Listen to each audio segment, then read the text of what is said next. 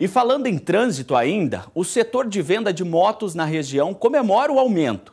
Dados da FenaBrave apontam um crescimento de 10% em todo o país no ano passado.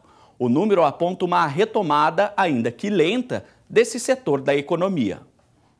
A vida sobre duas rodas sempre foi um desejo para Sérgio. Tanto que no ano passado, o operador de caixa decidiu comprar uma moto zero quilômetro ao invés de um carro tudo para economizar. Foi algo realmente muito bom para mim, porque o carro gasta muito mais, é basicamente o triplo.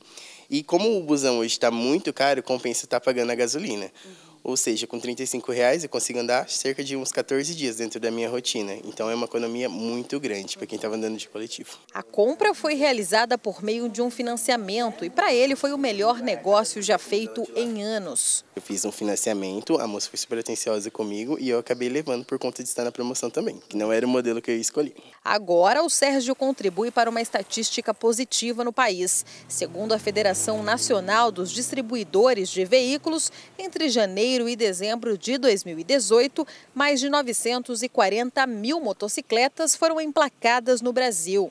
E no ano anterior foram pouco mais de 850 mil.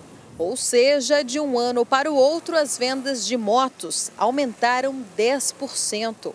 A queda na inadimplência, a maior oferta de crédito e o aumento de aprovação para financiamentos cooperaram para a retomada do setor. E o consórcio, especificamente, corresponde por 30% das vendas de motos no país.